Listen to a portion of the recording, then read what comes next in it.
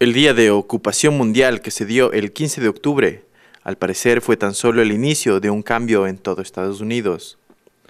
Pese al bloqueo de la media y a la hostilidad de las autoridades y muchas figuras políticas y religiosas, miles de personas salieron a las calles ese día para dar una declaración de lucha por sus derechos civiles y económicos.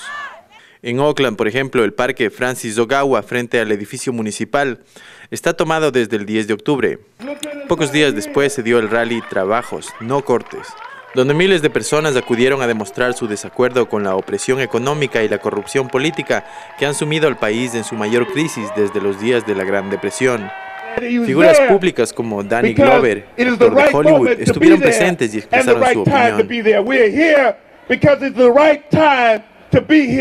We're tired and sick and tired of being sick and tired. That's why we're here.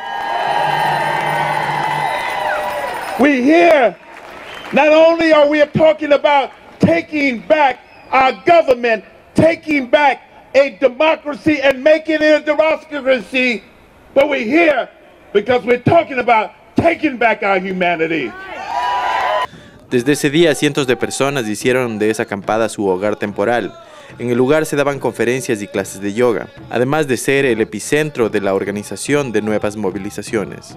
Sin embargo, desde el jueves 20, la alcaldesa Jan Kwan, quien en el pasado había demostrado ser más bien progresista y tolerante, firmó órdenes de desalojo del parque y se las mandó a los manifestantes, que a manera de respuesta solo incrementaron sus números. Sorpresivamente, el martes 24 a las 4 de la madrugada, Decenas de policías armados con equipo antimotines irrumpieron en el parque, en el que se encontraban incluso ancianos y niños. Luego de un corto ultimátum, mientras los indignados les gritaban ¡vergüenza!, la policía desalojó violentamente la plaza y arrestó a todos aquellos que no salieron del parque.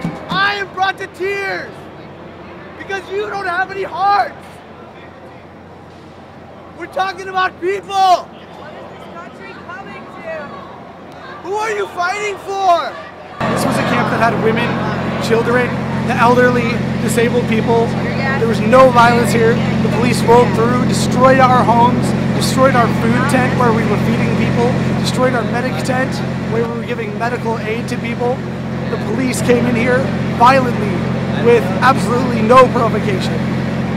And they destroyed this entire camp. La noticia despertó a la ciudad y cientos de personas salieron a marchar para reclamar por lo sucedido.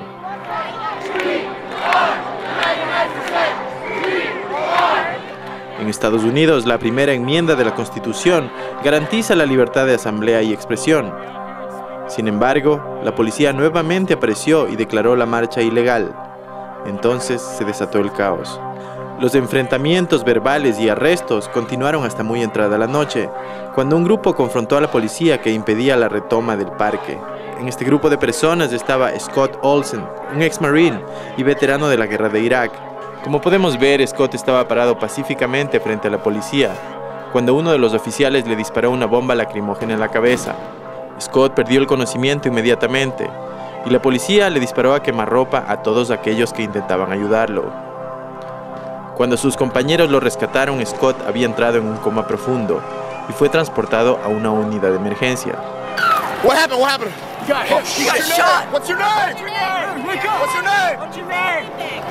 Esto enfureció a una gran parte de habitantes, especialmente Marines, que llenaron las redes sociales con mensajes de apoyo e indignación ante lo ocurrido.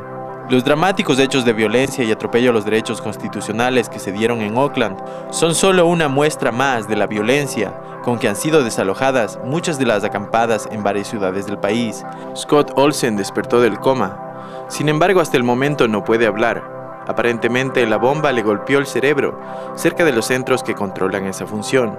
A decir de muchos, resulta irónico que luego de haber sobrevivido la guerra en Irak, Scott resultó gravemente herido cuando luchaba contra la corrupción política y económica que posiblemente dio inicio a esas mismas guerras.